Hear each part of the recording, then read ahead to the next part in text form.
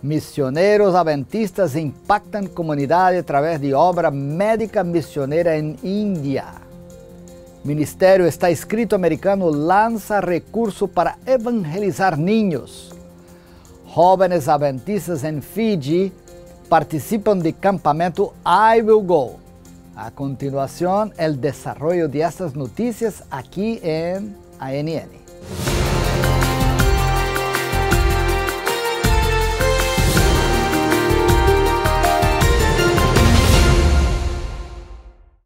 Começamos em Índia, um país asiático onde milhões de pessoas morrem cada ano por causa de enfermidades preveníveis. Um grupo de missionários de Light impacta as comunidades através da obra médica missioneira.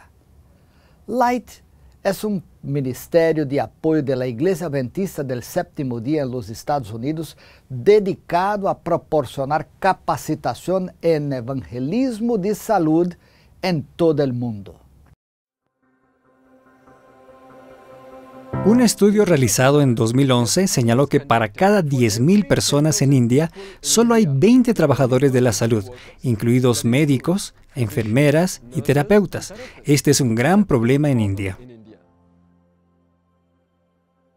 Tuve el privilegio de asistir a Wildwood Lifestyle Center en Georgia, Estados Unidos, e hice allí el programa de seis meses y el curso avanzado, lo que realmente ha transformado y marcado mi vida.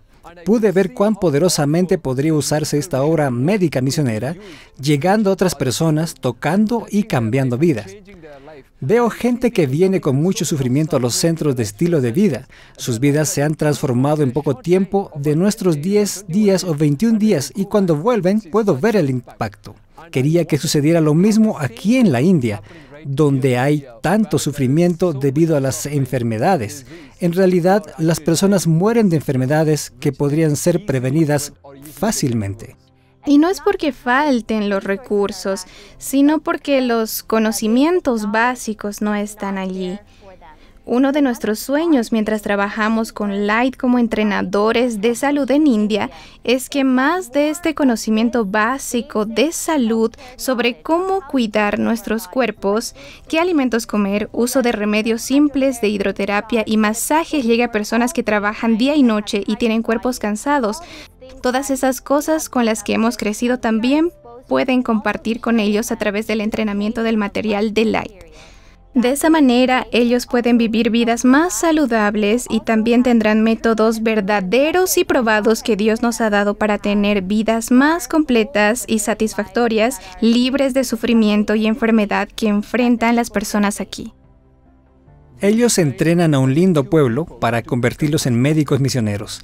Les piden que vayan y establezcan su propio centro y los traigan a una red entre todos los demás ministerios, así como lo están haciendo las escuelas o instituciones afiliadas a Light. Nuestra misión en el cuidado de la restauración de la salud, en el entrenamiento de estilo de vida, es expandirnos a todos los estados de la India, Nepal y Bután. Es hacer que la atención médica sea accesible a todos.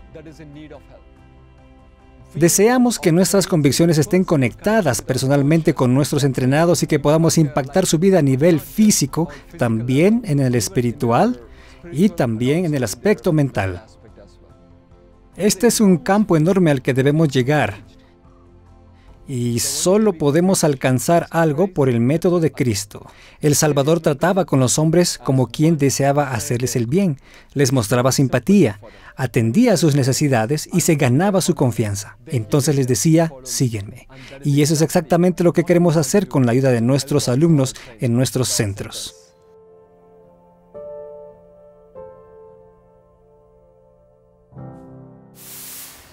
En episodios anteriores conocimos el trabajo que realizan los empresarios y emprendedores adventistas que forman parte de ACE, los Servicios e Indústrias Adventistas Laicos. Ellos están ayudando a cumplir la misión de la Iglesia Adventista del Séptimo Día alrededor del mundo con su participación y recursos. El empresario canadiense Rubén Díaz decidió poner el reino de Dios en primer lugar en su negocio y comparte su testimonio al manifestar su pasión por Cristo y por ASI. Una gran cosa sobre ser parte de ASI es que hay un sentido de pertenencia. Y una vez que participas con ASI, sientes que eres parte de una familia. Y en esto, la gente se siente atraída por intereses comunes. Y si tienes el interés de compartir el Evangelio de manera activa, si te gusta ir al mismo lugar, si tienes un interés específico como surfear, escalar montañas, querer estar con esas personas porque intercambias ideas, porque estás pensando en el próximo viaje, en la próxima aventura. En este caso, ASI es un eje donde las personas son atraídas por personas que piensan igual.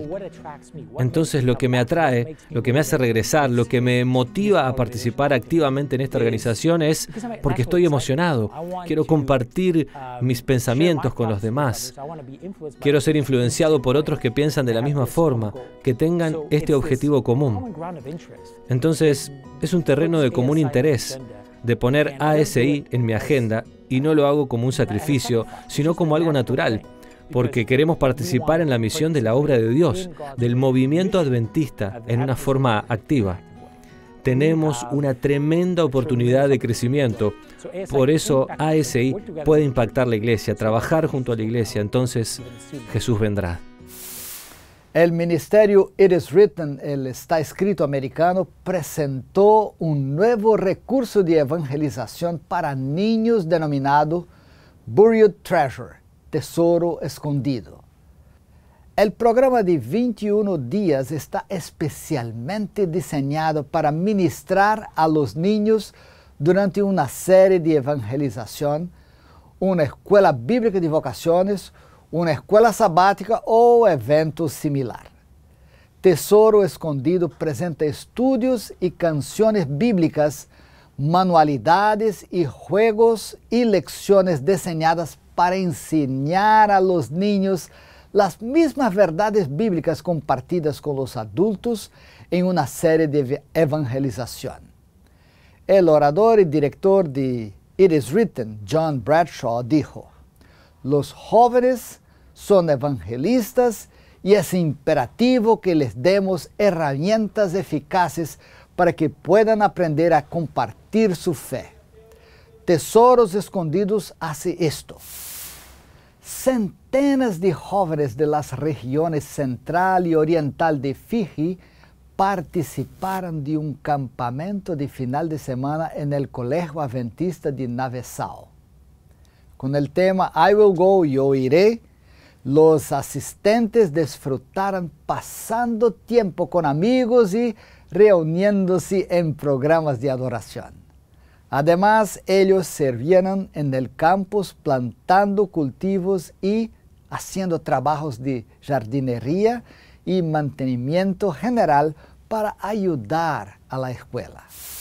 Bien, esto fue todo por hoy. Dios mediante la próxima semana estaremos de vuelta con más noticias de fe, amor, servicio y esperanza. Que Dios los bendiga y un abrazo.